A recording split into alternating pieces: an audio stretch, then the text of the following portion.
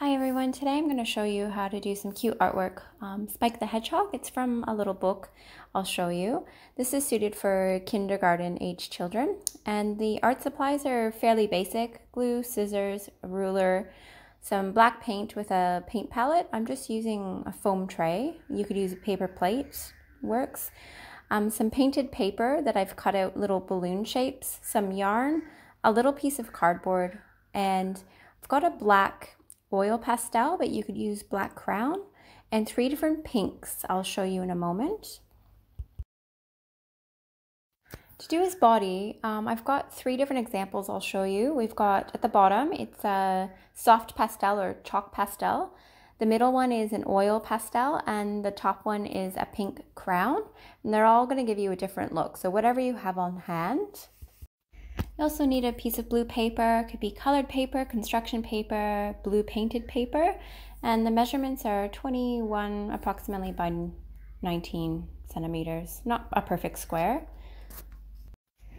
So the book um, that's inspired this is called Spike the Hedgehog Who Lost His Prickles by G.N. Willis and Jarvis. It's super adorable. I just got it from the local library. And when I do my kindergarten lessons for art lessons, I read a book ahead of time and it just helps them connect to the art, whether it's an illustration that I'm trying to demonstrate, um, visual texture style art, how to draw something. Um, today we are going to learn how to do printmaking and introductory. So we're going to start with an observational drawing, step by step, and just draw a little U shape. It's almost like a rainbow or an upside down U shape for his ear and a line across. And then the same shape on the other side for his other ear. Then from the bottom of his left ear, I'm going to draw like a little curvy curvy line coming around and do the same curve on the opposite side to connect with your other ear. And then we're going to do another U shape for his nose with a little line, a smile, two eyes, and some little lines above just for his eyebrows.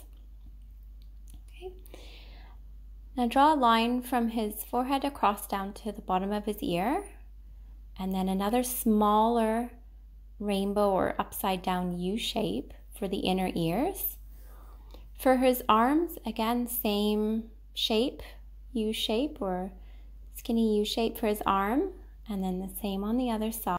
Now his feet are like a, an L shape, a capital L, so you're gonna go down and across, and then curve the line back slightly and do the line up, down, across, curve the line in and draw another straight line up.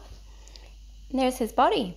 Okay, to color him in, I've got three. First, I've got the, the soft pastel or the chalk pastel.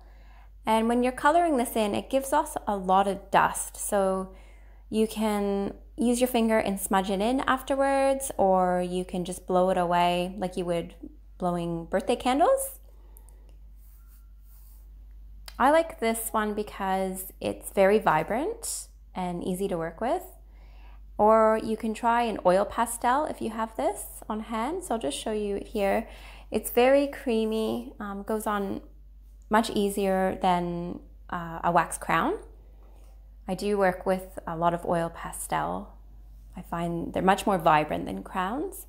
But if you only have crowns, um, that's okay.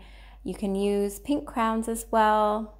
It just won't be as vibrant against the blue paper, but you'll still tell, you'll be able to tell that it's definitely pink if you choose to do that. But I'm gonna use the, the very vibrant soft pastel for my demonstration today. So go ahead and color his whole body in. It doesn't matter if you go over top of your black lines because we can tidy these up and go over them again to make them really vibrant.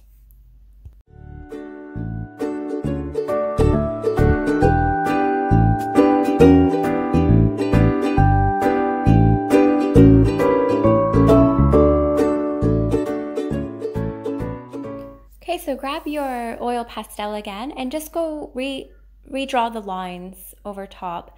And you can see it won't even matter if you've colored over top of your lines. This will make them nice and bright and vibrant again. So just go over every line that you've done.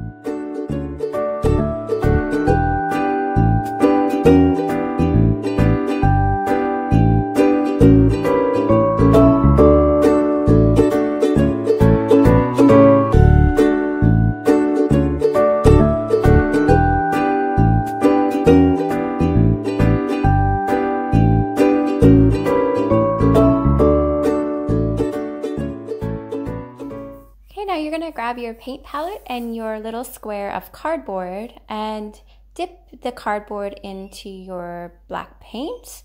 You don't want like it gooping, so you can tap it a couple times on the palette.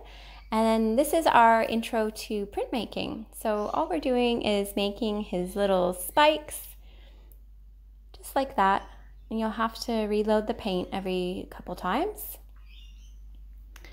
Just you can crisscross them. It doesn't have to be super neat. It actually looks more realistic if you crisscross his spikes and go all the way around down to his, I guess, bottom or just the tops of his feet.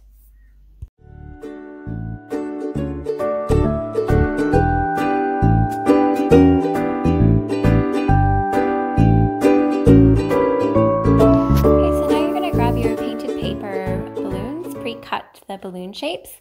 And I love painted paper in the art room. You don't have to use painted paper. You can use colored paper, but or scrapbook paper if you have it on hand.